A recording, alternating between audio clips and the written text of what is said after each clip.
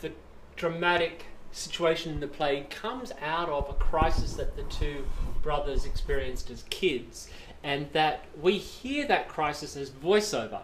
Anyway, in the talking with with um, Toby, the designer, and, and Tim, who were brought on to do the the filming, I wanted I was really interested in using film to um, give us a sense of the of that that crisis. Anyway, so what we've been looking at is these kind of really moody images of kids in the bush, and then uh, these are all just starting points, and then looking at how we can overlay that kind of filming of you know the young boys running through the bush with different textures of of um, uh, of the landscape of the the the leaf fringe uh, rock formations. So that the so that the image that we create in some way um, suggests memory in the way that in memory we overlay images. It's like this confluence of, of all these different seen things First image I brought to Toby. It's a, a photograph by an American photographer, Nan Goldin, who is,